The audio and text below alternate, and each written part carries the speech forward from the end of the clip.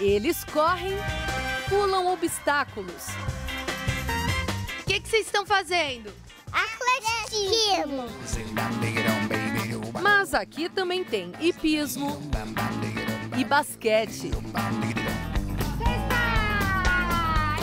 Com um, dois, três aninhos, essa turma com certeza nunca viu uma Olimpíada.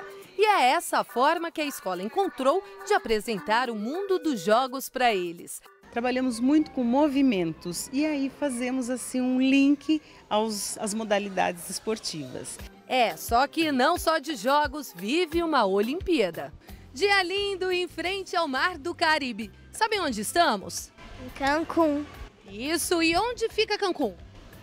No México. Boa! É que nessa escola os alunos aprendem um pouco mais sobre a cultura e história dos países que participam das Olimpíadas. Mas não pense que é somente sombra e água fresca.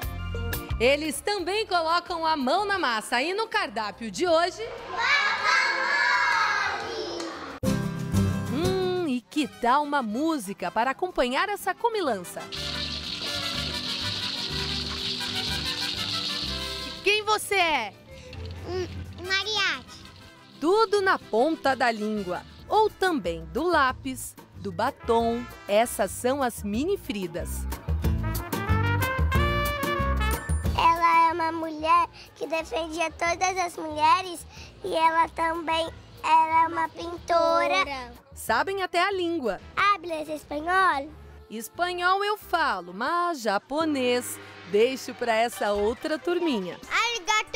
Sayonara, sushi, Hum, falando em comida, o que será que eles estão preparando?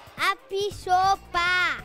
Ah, yakisoba, ensinamentos que os pequenos aprendem rápido e vão levar para a vida. Mas tem uma coisa que só daqui a 100 dias, durante a Olimpíada, eles vão aprender: comer com os tais palitinhos.